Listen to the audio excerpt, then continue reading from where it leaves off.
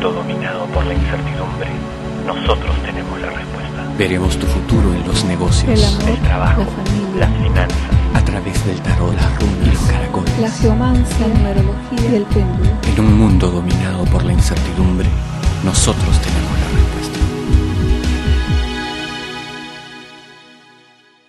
Hola Piscis, eres bienvenido al horóscopo semanal de arcanos.com.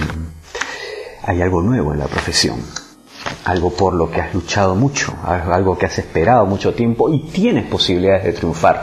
El problema está en que te cuesta adaptarte precisamente porque es nuevo, porque tiene ciertas reglas que no conoces, que no son las tuyas, no te desenvolviste así en el pasado, pero vamos, Tienes la capacidad como para adaptarte, así que hazlo de una vez, no te dejes vencer por sentimientos negativos. Dinero, finanzas, negocios, ten mucho cuidado, Piscis, no te dejes convencer fácilmente por quien en la práctica no es más que un encantador de serpientes, así que ten cuidado, te están vendiendo algo que no es lo que dicen, así que es mejor que no hagas ningún desembolso y te mantengas como estás en los negocios, porque aunque, bueno, quieres crecer, quieres mejorar, y la cosa no va como tú quieres, con esfuerzo saldrás mejor, saldrás adelante, más que con esto que están ofreciendo que es una mentira. ¿Qué hay en el amor para la mujer de Pisces esta semana? Estás cansada del rechazo, estás cansada ya de acudir a esta persona a pedirle una y otra vez que te dé una nueva oportunidad para que funcione lo de ustedes.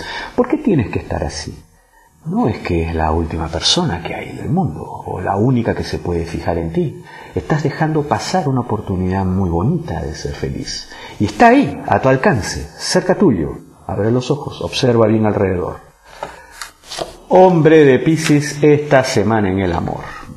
El hombre de Pisces eh, se va a sentir algo cansado, algo agotado, deseoso de que cesen de una vez los conflictos, las escaramuzas, pero esto es algo que no lo puedes evitar porque es parte de la personalidad de tu pareja.